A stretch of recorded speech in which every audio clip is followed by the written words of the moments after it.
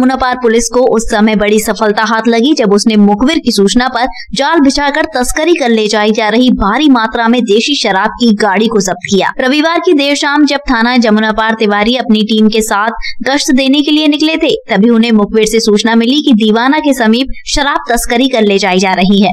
मुखबिर की सूचना के आधार पर मौके पर पहुँची। थाना जमुनापार पुलिस एवं आबकारी विभाग की टीम ने दो गाड़ियों को मैं देशी शराब के बरामद कर लिया, जिसमें एक मैक्स पिकअप एवं एक बोलेरो गाड़ी है।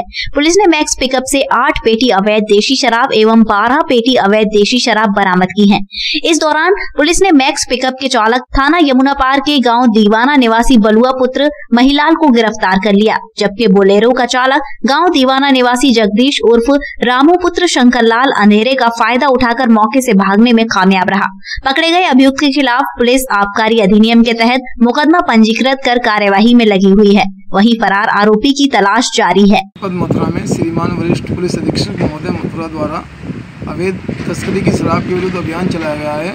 उसी अभियान के मद्देनज़र आज रात्रि में हमारी थाना टीम और आबकारी टीम द्वारा दीवाना कला के पास रात में साढ़े ग्यारह बजे दो गाड़ियों को चेक किया गया। चेकिंग के दौरान दोनों गाड़ियों में अवैध शराब मिली।